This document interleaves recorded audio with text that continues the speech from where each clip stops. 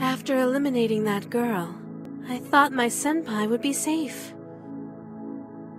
But now, I have a new problem to deal with. Another girl is showing interest in him. A cute tomboy with a gung ho attitude. Boys like that sort of girl, don't they? If he keeps spending time around her, she might steal his heart.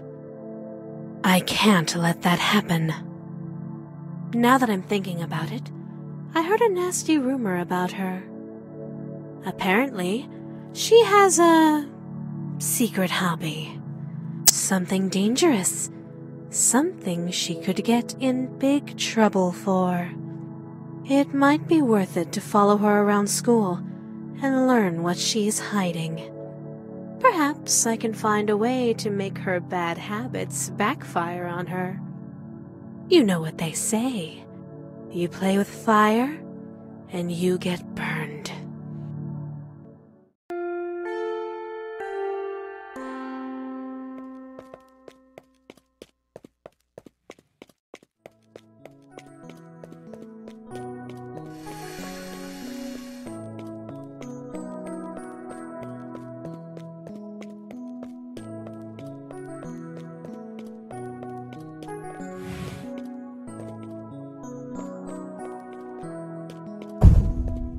You lost?